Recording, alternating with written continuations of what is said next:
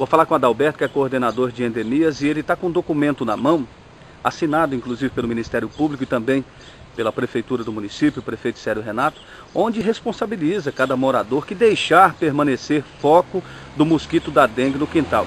A lei ela já existia, porque ela faz parte do código de postura do município. Ela não tinha ainda entrado em, vamos dizer assim, em vigor, a gente não tinha começado a cobrar, porque a gente trabalha muito com a informação. Na realidade, a nossa intenção era trabalhar a informação com a população para que não precisasse chegar a esse ponto. Mas como a gente não conseguiu atingir o objetivo, que era a conscientização da população do risco que é ter o mosquito em sua casa, infelizmente vai ser multado. Inclusive foi feita uma carta, foi feita uma reunião no Ministério Público, as autoridades é, todos é, é, assinaram tá, um, um, projeto com as ações a serem é, executadas a partir agora de janeiro. Você tem uma cópia dos avisos que serão colocados em cada imóvel urbano aqui no município? Sim, é uma carta aberta, assinada pelo prefeito, assinada pela secretária de saúde, explicando que a partir de agora, quem permanecer com foco do mosquito em seu quintal, ele vai ser notificado, vai ser dado um prazo para ele resolver o problema. Caso ele não venha resolver o problema dentro do tempo estipulado, será aplicada uma multa. Essa multa ela vai ser em unidades fiscais do município, tá? que ela varia de 1 a 30. Vai depender do caso, vai depender também da incidência. Você tem uma cópia dessa carta, você pode mostrar para a gente aí?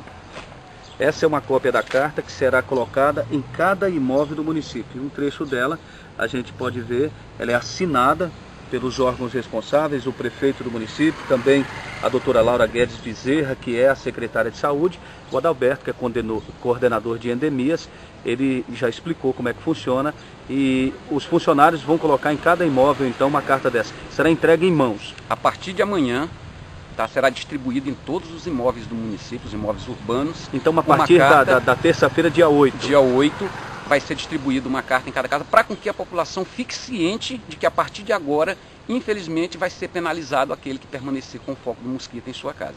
Porque é muito comum, Salem, a gente ouvir as reclamações que pessoas que eu cuido, mas o meu vizinho não cuida. Tá? Ou seja, muitas vezes aquele que cuida acaba pagando por aquele que não cuida. Então, a partir de agora, aquele que não cuida ele vai pagar. Tem telefones para as pessoas entrarem em contato, denunciar ou até mesmo pedir ajuda? Sim, no 3912 8050 é o número de telefone lá da divisão de endemias. Havendo necessidade, a gente desloca um servidor até lá para poder identificar o foco e fazer a eliminação. Tá? A gente faz esse trabalho já há bastante tempo, ele é constante, a gente sempre deixou o telefone à disposição da população para com que ligue, a gente vai até lá, identifica e elimina. Só que tem acontecido que a gente vai lá, elimina, daí três, quatro meses a gente retorna naquele imóvel e o problema permanece o mesmo. A partir de agora isso vai mudar. Porque a gente vai lá, a gente vai tratar e vai dar um prazo para o cidadão resolver o problema. Ele não resolvendo, será aplicada a multa. Obrigado, Adalberto. Eu que agradeço, Salim, porque é, você sabe, a imprensa é um parceiro da gente, que a gente precisa realmente dessa parceria para com que a gente possa entrar naquelas casas onde normalmente no nosso trabalho às vezes a gente não consegue. E a imprensa consegue chegar até lá. Até deixar resultado que a partir de amanhã a gente vai fazer um trabalho em conjunto com o PAX, tá, que são os agentes comunitários de saúde, Tá? Eles todos estão envolvidos nessa, nessas ações e a partir de amanhã a gente vai estar de casa em casa distribuindo essa carta para a população.